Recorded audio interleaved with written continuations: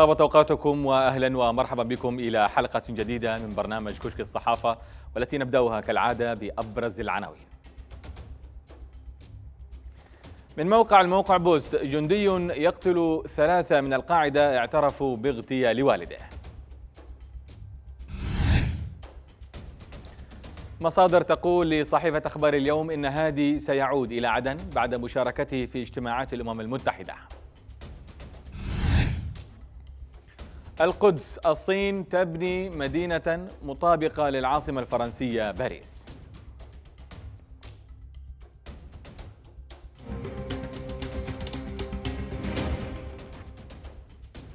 أهلا بكم. حضر وزير الإعلام في حكومة الحوثيين محمد حامد. حضر العمل الصحفي في صنعاء وتوعد من يمارس العمل الصحفي خارج الموجهات المطروحة من قبل إدارته بالسجن. جاء ذلك حسب ما نقله مسؤول كبير في إحدى الوسائل الإعلامية الموالي للجماعة لمراسل يمن مونيتور مشيرا إلى أن محمد حامد هدد جميع الوسائل الإعلامية بالسجن والاعتقال مشددا عليهم بأن الحكومة في الوقت الحالي ليست بحاجة إلى الإعلام في اجتماع بالقصر الجمهوري بالعاصمة صنعاء بحجة وجود عدوان على البلاد.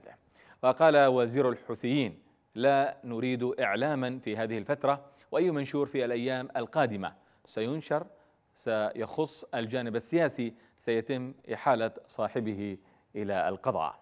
وفي موضوع آخر وصف يحيى بدر الدين الحوثي المعين وزيرا للتربية والتعليم في حكومة الحرب الداخلية لموقع يمن مونيتور. الكتاب المدرسي اليمني أنه منهج ضال. وأضاف هذا المنهج منذ عهد المماليك الذين حكموا اليمن قديما وقاموا بتزييف التاريخ الإسلامي بحيث خرج هذا المنهج وكله ضلالة وفيه أفكار تخالف الشعب. يعنون موقع الاشتراكي نت حول ما تشهده محافظة تعز من اعتداءات متكررة من قبل ميليشيا الحوثي وقوات البخلوع. بيانات متفرقة تدين مجزرة الميليشيا الأخيرة بتعز وتصفها بجرائم إبادة. وقال الموقع أن الحكومة الشرعية طالبت المجتمع الدولي بإيقاف ميليشيات علي صالح والحوثي من استهداف المدنيين حيث تشهد مدينة تعز أعنف جرائم إبادة ترتكبها الميليشيات بحق المواطنين الأبرياء.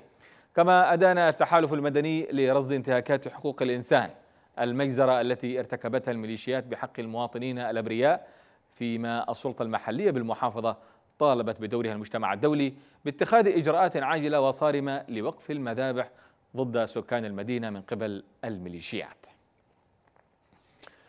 ثلاث عجاف تحت هذا العنوان كتبت فكرية شحرة مقالها المنشور في موقع يمن مونيتور مضيفة. أن تصل البلاد إلى أدنى مستويات الخراب في كل المجالات خلال زمن قياسي مقداره ثلاث سنوات هذا منجز مذهل وغير اعتيادي يحسب للانقلاب الغاشم. بجوار منجزه العظيم بتحويل اليمن إلى أكبر مقبرة للقتلى بجهة وللأحلام بجهة أخرى. في الكوارث يعد الزمن عاملا مهما فما حاولت ثورة السادس والعشرين من سبتمبر بناءه وترميمه في هذا الشعب من مبادئ الحرية بغرسها في الأجيال المتعاقبة خلال خمسة عقود منذ القضاء الشكلي على الإمامة الأولى. ها هي الإمامة الثانية تعيد هذا الشعب إلى أسوأ مما كان عليه. وخلال ثلاث سنوات كان الإعداد لها جيدا خلال الخمسة العقود ذاتها. هكذا تأتي الكوارث فتحيل الأحلام إلى أثر بعد عين وهذا تحديدا ما يحدث لليمن واليمنيين.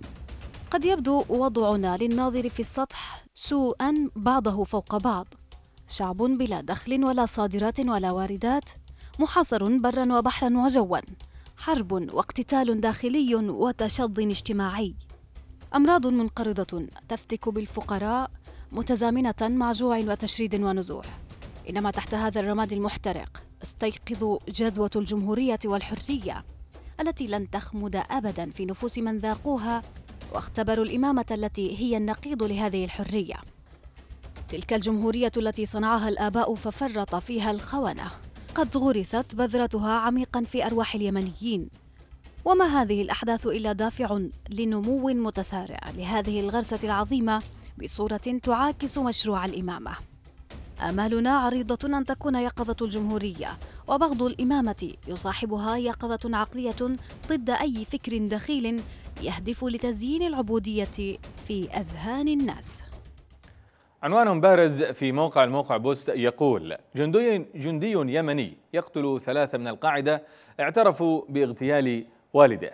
وقال الموقع أن جنديا ضمن قوات الشرعية أقدم على قتل ثلاثة من عناصر تنظيم القاعدة أثناء التحقيق معهم في جنوب البلاد بعدما أقروا باغتيال والده وهو ضابط برتبة عقيد وفقا لمصدر أمني ومصادر قبلية. وقال المصدر الأمني في محافظة أبين أن الجندي الشاب أقدم على قتل العناصر الثلاثة بشكل مفاجئ من دون أن ينال موافقة زملائه المحققين ما أثار غضبهم. وأشارت المصادر إلى أن والد الجندي قتل في هجوم لتنظيم القاعدة في مدينة لودر بمحافظة أبين قبل أشهر. في عنوان في عنوان بارز ورد في صحيفة أخبار اليوم نطالع. مصادر الرئيس هادي سيعود إلى عدن بعد مشاركته في اجتماعات الأمم المتحدة بنيويورك.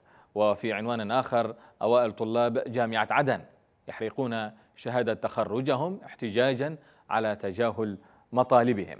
ومن أبين نجاة قيادي في الحزام من محاولة اغتيال والعثور على جثة زعيم القاعدة بالوضيع. ومصدر أمني في تعز يتساءل عن صمت التحالف الشرعية حول الخروقات التي ترتكبها كتائب أبو العباس.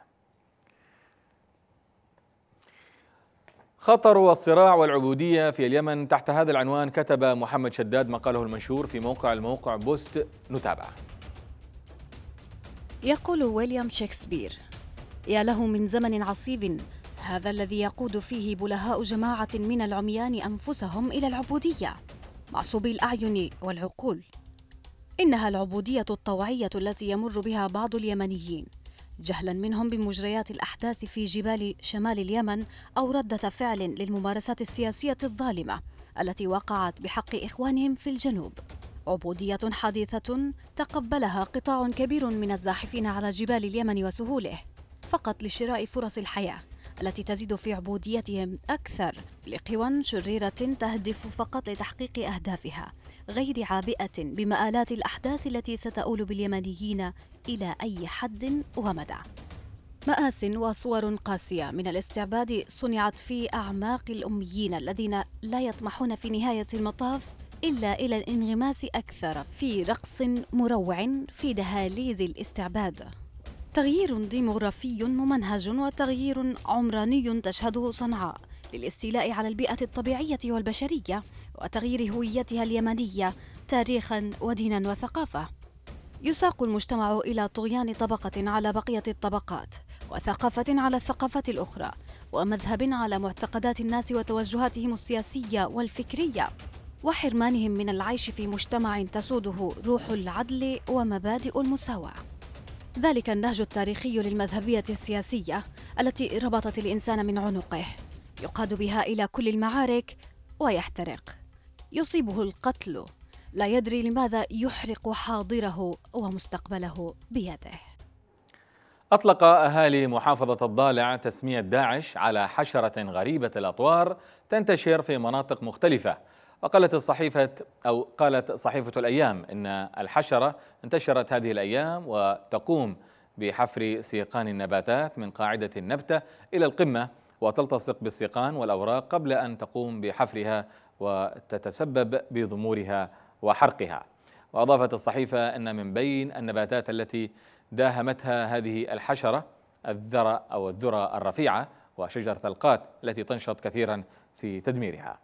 وأكد عدد من أبناء الضالع والمزارعين أن الحشرة لم يعرفوها من سابق وأنها ظهرت فجأة هذه الأيام وتعد من الحشرات الغريبة والفتاكة التي تدمر النباتات خلال ساعات من انتشارها فيها.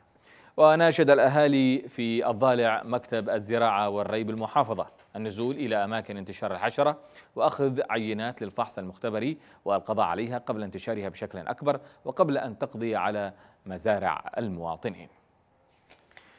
نشر موقع المجلة الإلكترونية المدنية تقريرا مطولا عن واحد من أهم طقوس ومزايا عدن وعنوان الموقع.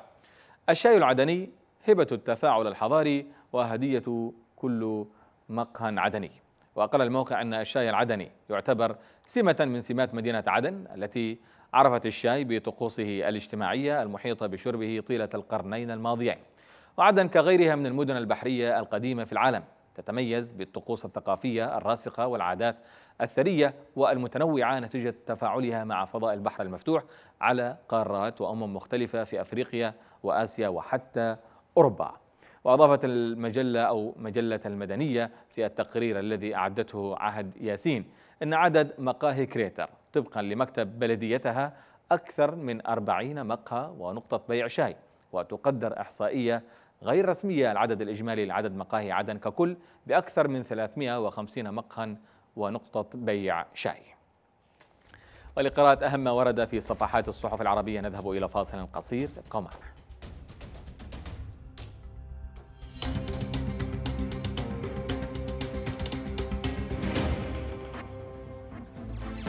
حين تتجه بناظريك إلى ما هو حولك تكتشف جمال كل شيء. تتعرف من خلال ما شاهدت قانونا واحدا من القوانين المعرفية. تعرف كيف امتزجت هذه الحياة بألوان البشر المختلفة. ستعلم عندها أن الأقرب منك أن وضعنا العالم بين يديك.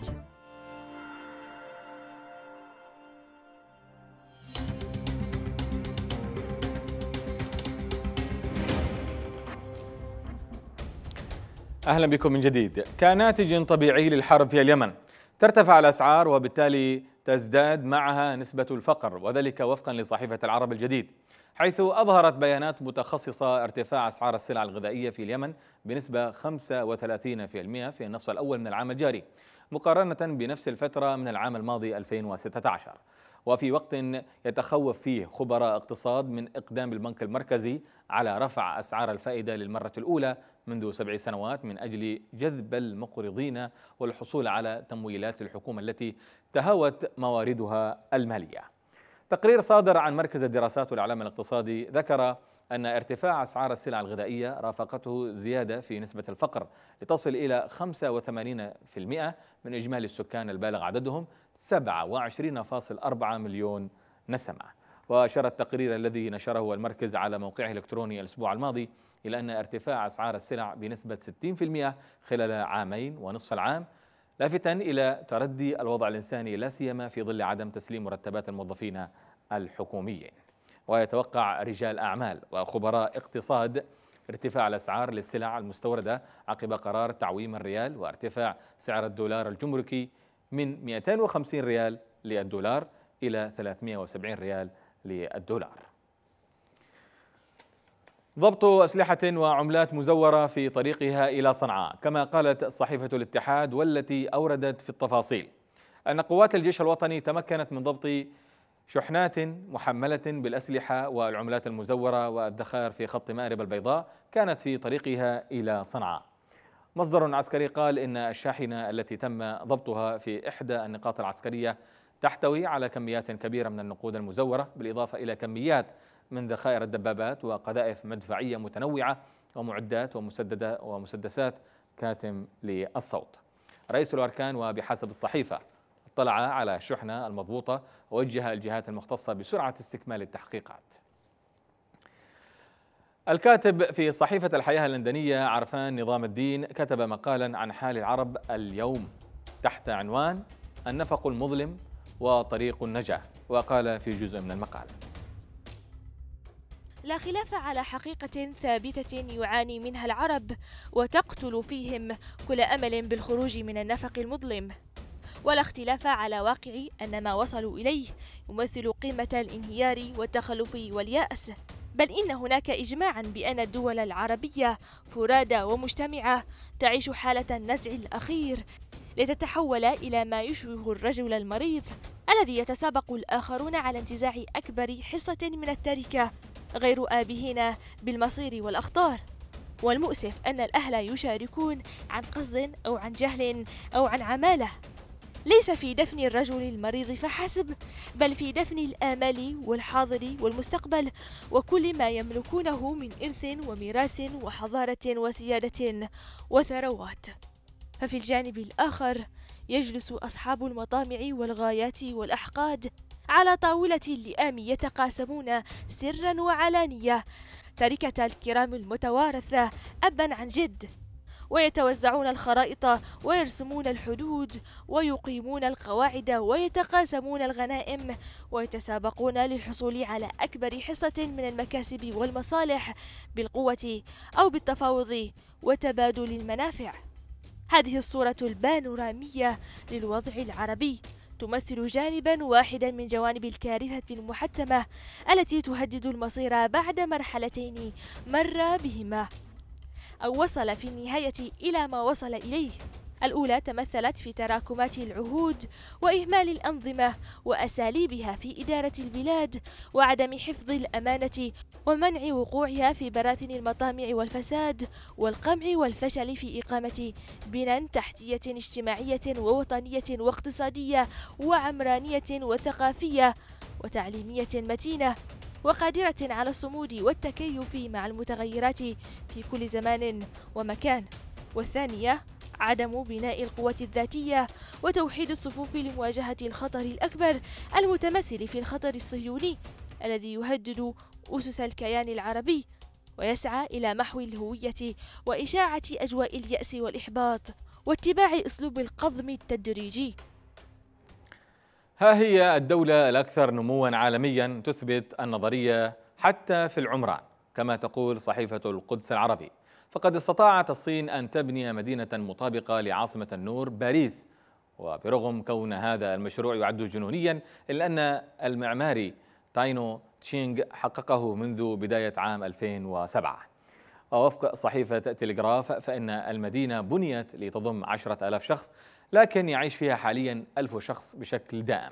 وفي فيلم قصير تم تداوله كثيرا في الآونة الأخيرة تظهر المدينة أو تظهر المدينة كأنها مدينة أشباح فالحلم في إنجاز مدينة مشابهة لباريس لم يحقق بريقا كالمدينة الفرنسية التي تستقطب أكثر من 20 مليون سائح سنويا.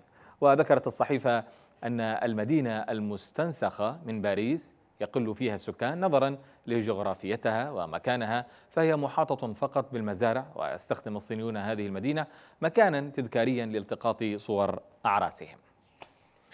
هل تساءلت يوما عن دقيقة حداد؟ ذلك الوقت المستقطع للتعبير عن الحزن. من أين جاءت؟ موقع هاف بوست يجيب على هذا التساؤل بالقول. تعود جذور دقيقة الصمت إلى البرتغال عندما توفي الدبلوماسي البرازيلي جوسي ماريا دا سيلفا في فبراير عام 1912 وذلك بعد معاناته مع الفشل الكلوي حيث كان يتمتع بشعبية وحب بالغين عند البرتغاليين. وذلك لأنه كان من أكبر الشخصيات التي دعمت الثورة البرتغالية وساندت إقامة الجمهورية البرتغالية بدل النظام الملكي ما تسبب في موجة حزن عارمة ضد وصول خبر وفاته إلى لشبونة. ما جعل رئيس مجلس الشيوخ آنذاك يقرر تخصيص عشر دقائق كاملة حزنا على روح الفقيد. تطلب الأمر الانتظار ست سنوات بعد سنة 1912 حتى يطبق وذلك في بريطانيا. حزنا على أرواح الجنود القتلى في الحرب العالمية الثانية وقد تم اقتراح تخصيص خمس دقائق في البداية إلا أن الملك جورج الخامس قرر أن يتم العمل بدقيقتين فقط بدل ذلك. ولم يتحول هذا العرف إلى دقيقة صمت بالفعل إلا سنة عام 1919 بفرنسا التي خصصت دقيقة دقيقة حزن على فقدان مجموعة من الجنود. فإن تخصيص فترات للصمت لم يكن مستعملا في البداية إلا عند رحيل الشخصيات المهمة أو الجنود الذين أدوا خدمة للوطن إلى أن تحول شيئا فشيئا مع مع مرور السنوات فأصبحت تخصص أيضا للأشخاص العاديين الذين راحوا ضحية حادث كارثي مثل الكوارث الطبيعية أو الأعمال الإرهابية. فلسطين في ليل الاحتلال. تحت هذا العنوان كتب إلياس خوري مقاله المنشور في القدس العربي مضيفا عن الجرح الأول في الجسد العربي. جاءت هبة الأقصى لتذكر العرب والعالم بفلسطين. فليل العرب الطويل الذي حول المشرق إلى أرض للمآسي وأسس لزمن النكبات في سوريا والعراق واليمن وليبيا. حجب الجرح الأول في الجسم العربي بعدما نجح الاستبداد والقوى الظلامية في تحويل العرب إلى شعوب من اللاجئين. جاعلين من أرضهم جرحا مفتوحا لا يرتوي من دماء الضحايا. هذه المرة فلتسمح لنا أم سعد بطلة رواية غسان كنفاني فخيمة عن خيمة لا تفرق. الفدائيون غادروا خيامهم ولم يبقى سوى خيام اللاجئين أو أكواخهم المهدمة وصار البحر الأبيض مقبرة الهاربين من الجحيم. في هذا الليل العربي والفلسطيني انفجرت هبة الأقصى مشكلة لحظة ضوء في العتمة. فالشعب الذي ترك وحده في مواجهة مصيره عرف كيف ينظم صفوفه في مواجهة شعبية طويلة النفس. أعلنت أن القدس لا تزال فلسطينية وعربية وأن الاحتلال بكل جبروته وعنصريته لم ينجح حتى الآن. في تحويل القدس العربية إلى ضاحية إسرائيلية ملحقة بالقدس الغربية والمستعمرات الإسرائيلية. لكن الانتصار النسبي في القدس يجب ألا يحجب الحقيقة. فإذا كانت القدس تحمل قيمة رمزية وثقافية عالية فإن المعركة التي يفرضها الاحتلال على القدس ليست معركة رمزية وإنما هي معركة شاملة واضحة الأهداف والوسائل. فلسطين تواجه فصلا جديدا من نكبتها المستمرة منذ 69 عاما. وهذا الفصل ربما يكون أقصى الفصول لأن المشروع الإسرائيلي العنصري يتم وسط عجزين كبيرين عجز عربي وعجز فلسطيني.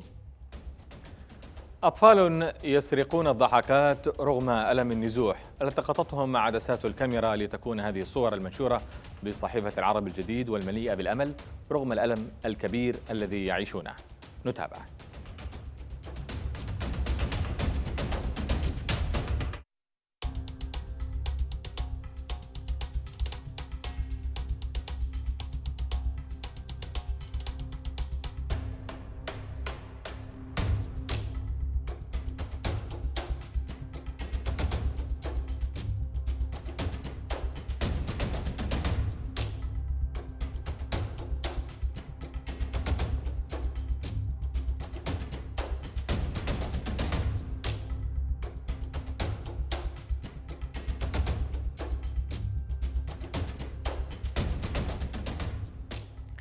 بهذه المجموعة من الصور والصحف العربية نكون قد وصلنا إلى ختام حلقتنا لهذا اليوم. نترككم مع مجموعة من رسوم الكاريكاتور. دمتم بخير.